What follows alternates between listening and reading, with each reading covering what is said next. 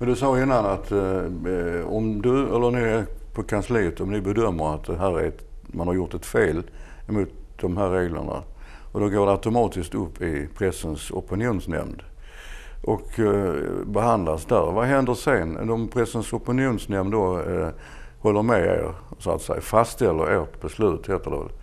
Ja, vad händer sen då?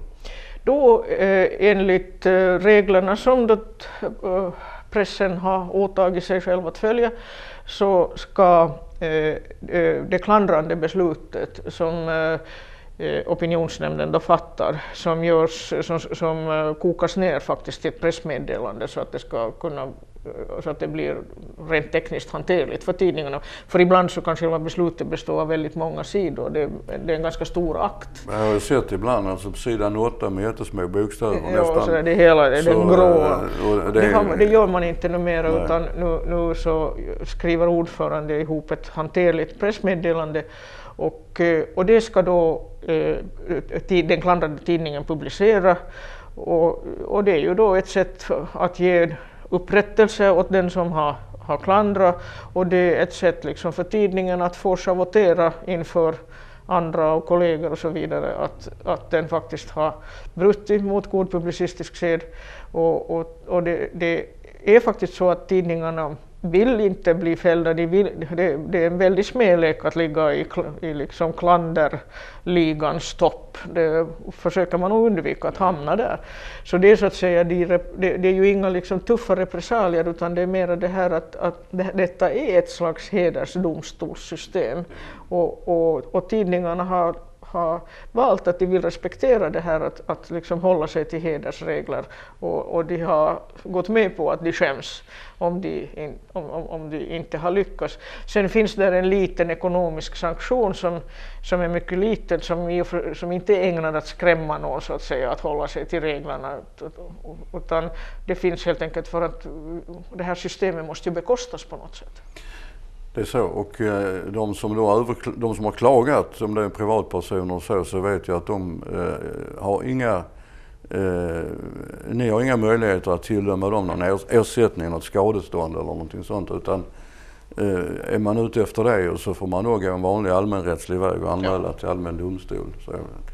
Men eh, jag vill gärna då säga någonting. Jag förstår att den här självsaneringen är oerhört viktig och att eh, tidningarna då eh, sätter en heder i att eh, förekomma så att säga hos er så lite som möjligt egentligen. Eh, och eh, om det nu skulle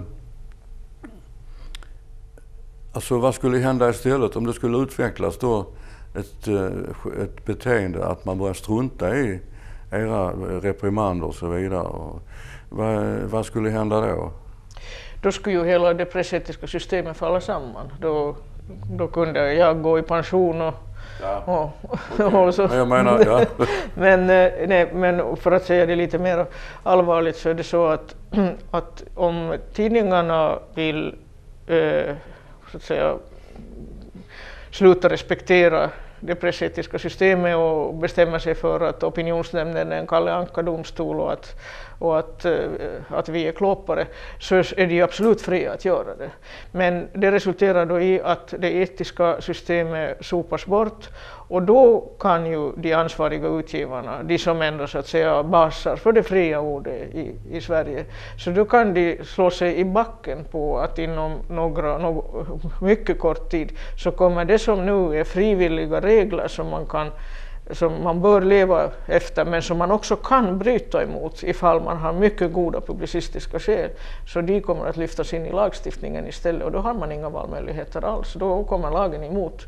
Och alltså om ansvar, de, de, de samlade ansvariga utgivarna i Sverige, och det finns inga tecken på att, att någonting sånt skulle vara för handen, det här är bara hypotetiskt, men ändå, om de skulle få för sig att de vill skrota det pressetiska systemet och eh, så att säga lita till lagstiftningen istället så skulle deras handlingsfrihet krympa drastiskt och det offentliga ordets liksom frihet skulle fjättras. Det, på ett, det är självklart, ja just det. Det är ju frihet under ansvar. Det, jag tycker ja. det är intressant att, eh, att understryka då flera gånger, många gånger för att det som vi börjar prata om, om yttrandefrihet och framförallt om tryckfrihetsförordningen Eh, den bygger på att lagstiftarna har, har eh, beslutat om denna väldigt, väldigt öppna frihet för alla och var att uttrycka åsikter, idéer, trycka, ge ut tidningar och så vidare. Och det bygger på ett frihet under ansvar. Samma lagstiftare kan ju eh, gå in och ändra i det om de tycker att det inte fungerar.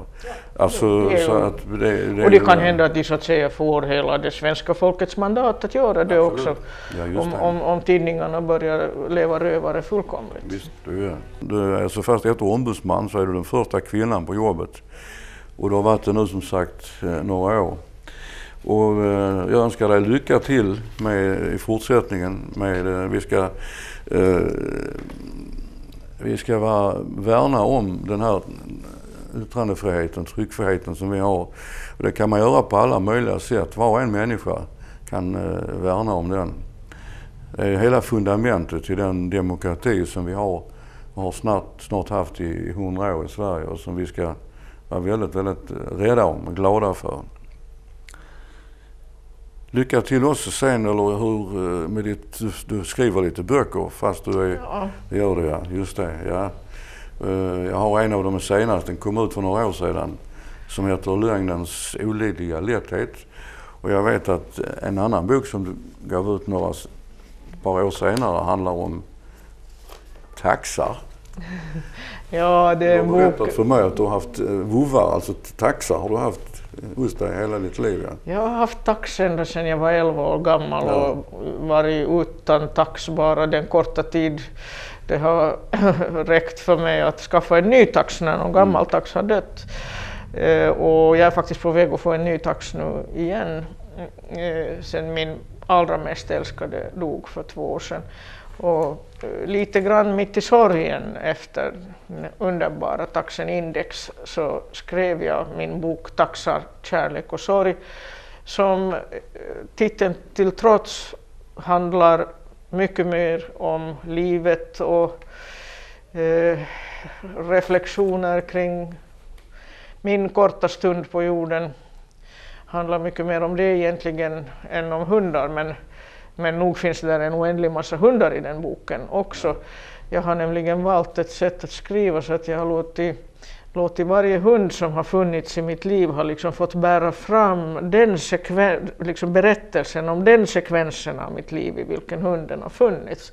Så att det börjar med de hundar som hör till min barndom och sen kommer hundarna mm. som hör till min tidiga ungdom och så kommer taxen som var med mig på Aftonbladet och uh, Eh, levde rövare där med alla verkställande direktörer och, och, och sen kommer liksom hundarna som har tillhört min medelålder och sen sena medelålder. Så att hundarna bär fram berättelsen, men berättelsen består ju av någonting annat än hundar.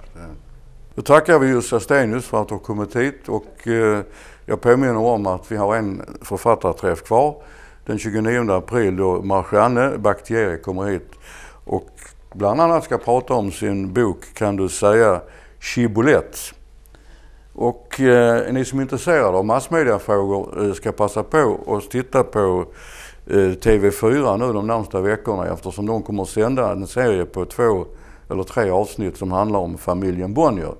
Familjen Bonnier som är eh, verkligen är nästan likhetstecken med massmedia eh, här i Sverige. Och till Yrsa då, så här i nere förr i tiden så sa man eh, vi ses på kajen i Liverpool. Uh, ja, vi ses i Istanbul tycker jag. Tack så mycket.